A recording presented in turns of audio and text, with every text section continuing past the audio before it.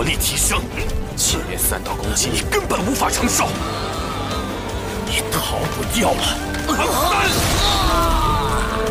由于人面魔蛛的阻拦，导致了唐三小五错失了最佳的逃跑时机，因此两人很快便被武魂殿众多强者追上。面对众多强者的强力进攻，唐三深知此番凶多吉少，而他现在唯一能做的便是尽最大的能力保护小五。只见唐三瞬间使用蓝银草以及外附魂骨进行防御，然后将小五紧紧搂在怀中。但奈何众人的进攻十分强横，仅仅片刻，蓝银草的防御便瞬间瓦解。但是此时一道耀眼的光芒突然爆发，这光芒是什么？魂力等级提升到了六十，我的魂力。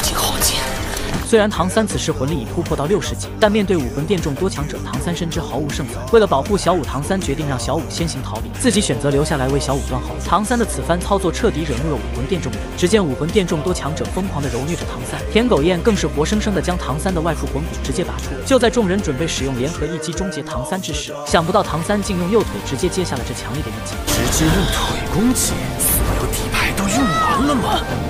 唐三。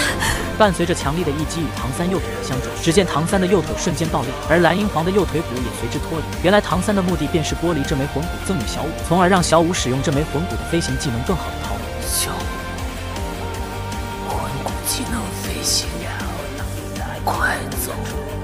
更是到最后，唐三竟不惜燃烧自己的生命，用自己的身体形成了最后的屏障，为小舞阻断了武魂殿众人的全部攻击。